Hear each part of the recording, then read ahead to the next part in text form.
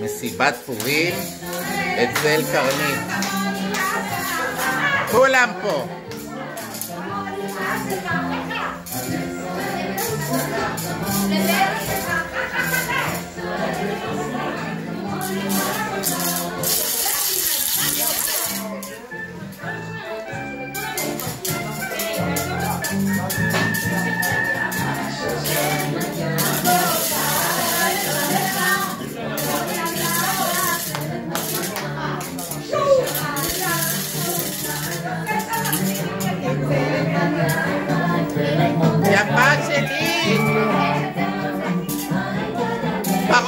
פרעה! הגיע!